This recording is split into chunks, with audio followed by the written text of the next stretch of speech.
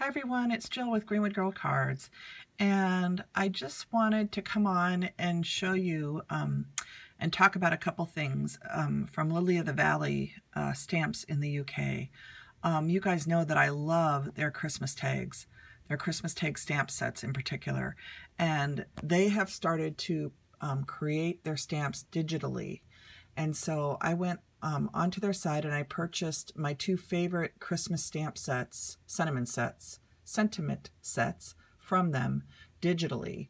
And I wanted to see if I could change the color um, from black to red because normally when I use this, the stamps on my tags, like on this tag, for example, right here, I generally will stamp them out in red. Um, and cut them out. Uh, like this one says warm winter wishes. Sorry, it's so blurry.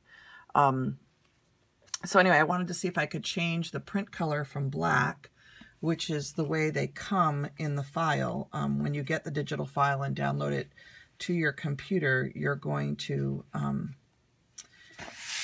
the stamps that you get will be black like this. So this is a copy that I did where I printed out a whole bunch of them.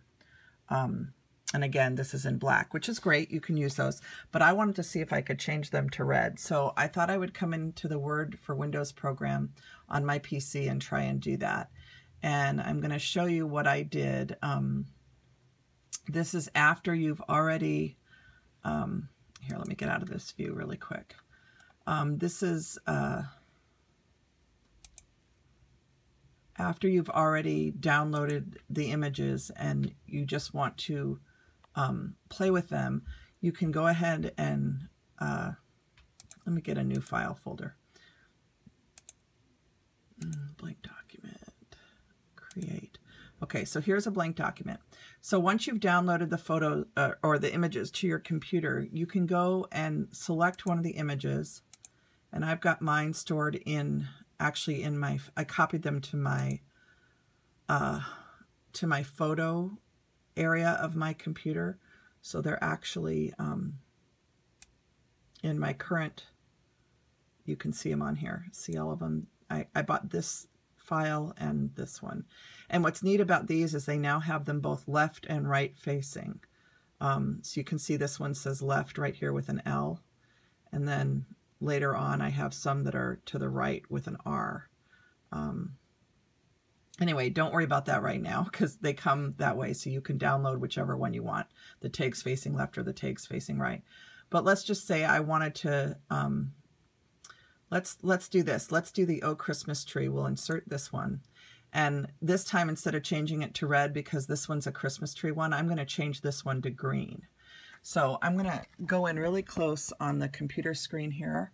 And there's an area that says, um, recolor and you click on recolor and I'm gonna and then you go down to where it says lighter variations. And I'm sorry this isn't going to be clear on my video because it, it just isn't. But it says lighter variations and you can select any color you want and it will change the background of that stamp. And let me enlarge this so you can see it better. So it changed it to green and if I wanted to change it I could go to recolor down to lighter variations and I could pick blue.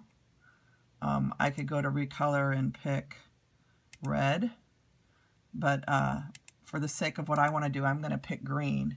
And then really you can make these tags, like if you just wanted to make a tag that said, oh, Christmas tree that was really big, you can make this as big as you want, at, at least as far as an 8.5 by 11 sheet of paper goes. And you could just um, right-click copy paste. You could maybe probably fit, well, if they're this big, you probably can only fit two, but if we go a little smaller, we can probably fit three on a page. Let's see. Uh, copy this one more time. Paste. Uh, it doesn't quite want to fit three on a page. Let me shrink this down. There we go. So you can size them so that you get three on a page, say, and you could print these out and you've got three Christmas tags that say, oh, Christmas tree. So the neat thing about digital stamps is wherever your mind takes you is what you can do with them. Um, you know, and then they have these so that the tag part is on the right side or the left side now.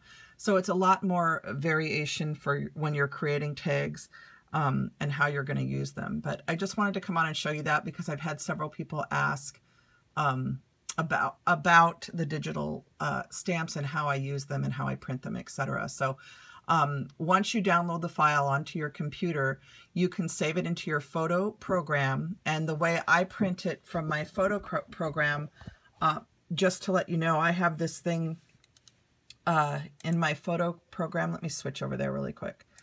Uh, let's see. Um, in my photo hosting program, uh, I have, um, let's see, I'll print layout.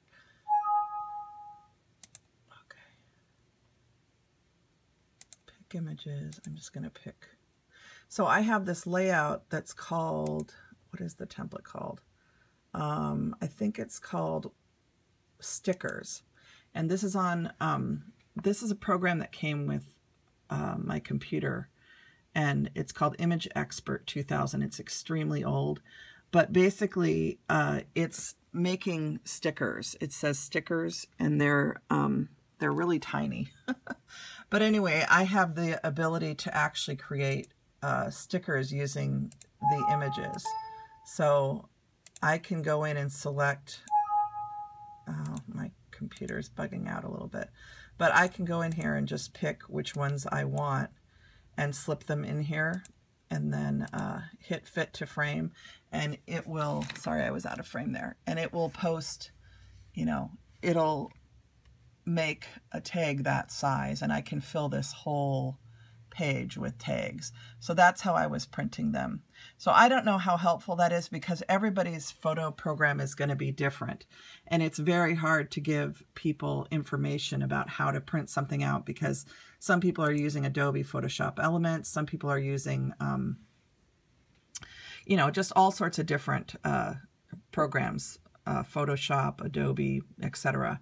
So uh, for the sake of what I did um, in showing you uh, I think for some people, probably the easiest way is going to be copying them into their photo program. And then if their photo program gives them lots of variations, they should be able to print them this small.